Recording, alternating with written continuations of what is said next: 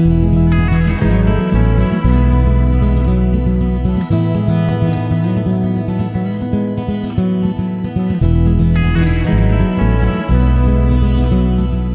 Malbec really found his perfect land, its perfect terroir, it's here in Argentina.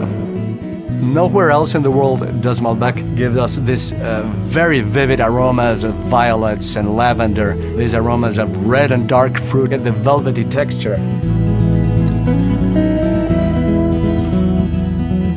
Malbec es el, el emblema de Argentina. Todo el argentino eh, hoy en día consume Malbec.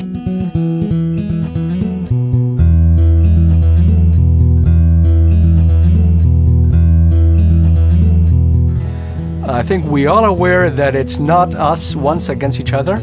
I think there's if there's some competition in the winemaking world, it is Argentina versus the rest of the world. We're still so small.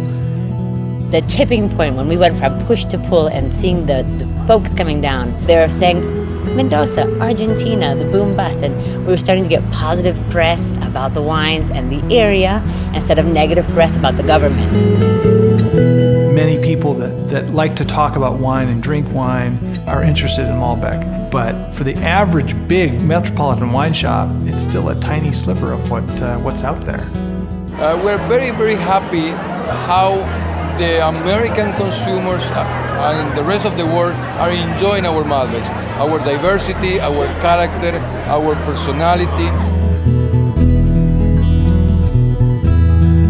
Nosotros lo llevamos a triunfar en el mundo, lo hicimos triunfar y ya lo hicimos con, con nuestro terruño, lo hicimos con nuestra cultura, le dimos una, una personalidad.